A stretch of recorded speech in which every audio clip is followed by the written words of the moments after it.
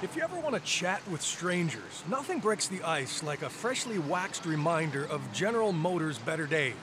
Looking good. Thank you. The car.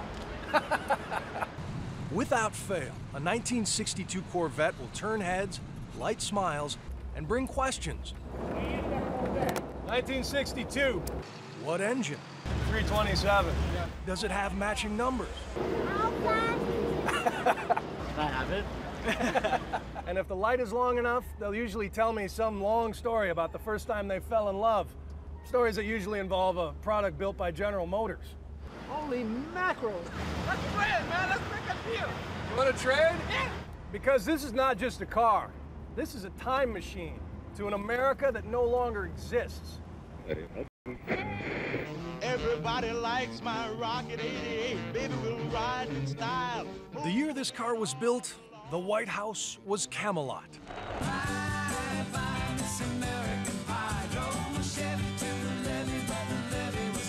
It was the same year a little store called Walmart opened in Rogers, Arkansas, and the term personal computer was uttered on TV for the first time. And General Motors was the most powerful company the world had ever seen. Little GTO, you really looking fine. With a market share of 51%, literally half the nation's driveways held one of their cars. No, we're not the. They employed half a million Americans, the the population of Rhode Island and Nevada combined.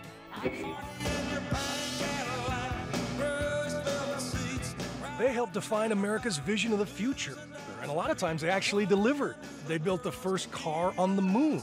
And it wasn't just cars, they built the first artificial heart.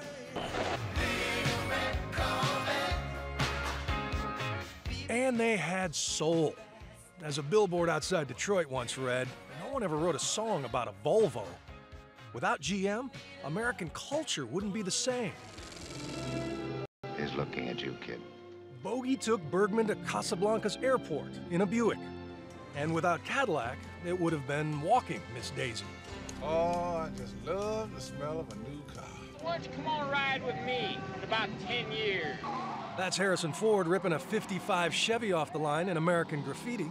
And when Gene Hackman commandeered a 71 Pontiac in the French Connection, we got the greatest car chase ever filmed.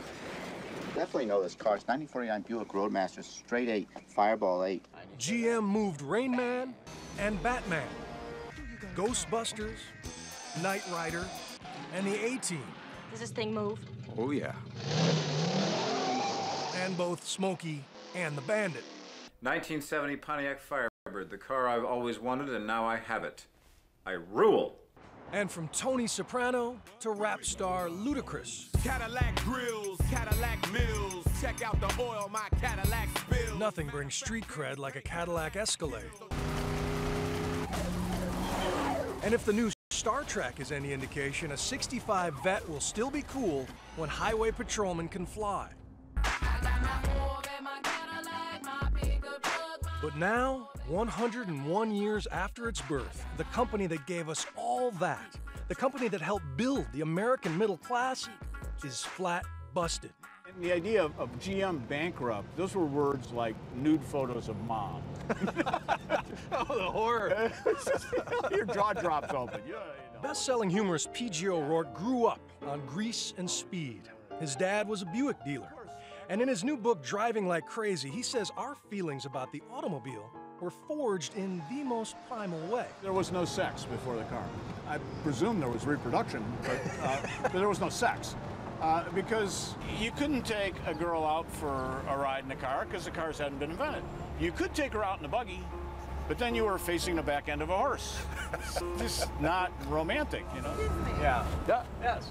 Is there room in the trunk for a But somewhere over time, he says, our steel chariots of adventure became exhaust belching household appliances, errand running machines, motorized cup holders.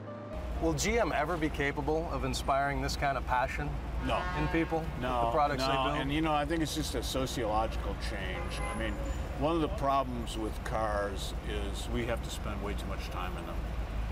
All the romance. All the romance is gone. The car's sitting there in the driveway, and we begin to blame it for all the errands we have to take it on. You know?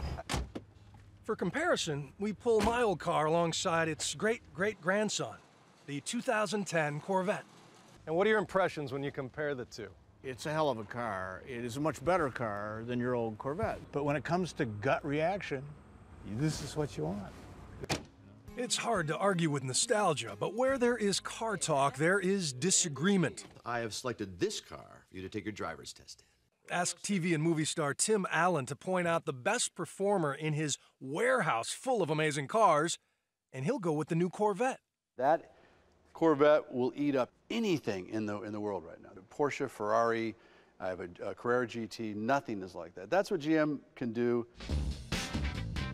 And he says America is still capable of feeling passion for a well-built machine. Of course, he's the type of guy who puts monstrous engines in anything with wheels. This is 1,100 horsepower. Right. When you're running the engine up to get the, the horsepower rating, and I see a guy in the back going like this. He goes, and I go, what are you doing? He goes, it, it makes my uh, nads wiggle. Before acting, the Michigan native worked for GM's photography department, and later, he even helped them design custom Cadillacs. Who killed General Motors? You blame labor as much as management? And there was a point when they were both making crap. But late, late 70s, early 80s, they made the same crap and expected us to buy the same crap. And it got irritating. They're bigger, more chrome, same uh, nine inch rear end, front V8, cruddy interior, mm-hmm. and then the union blamed executives, executive blame the union. But how did that happen? And has it stopped? And can this down and out company ever make you fall in love with their products again? These are $50 billion questions because, like it or not, you, the American taxpayer, you are now a majority owner in the new General Motors.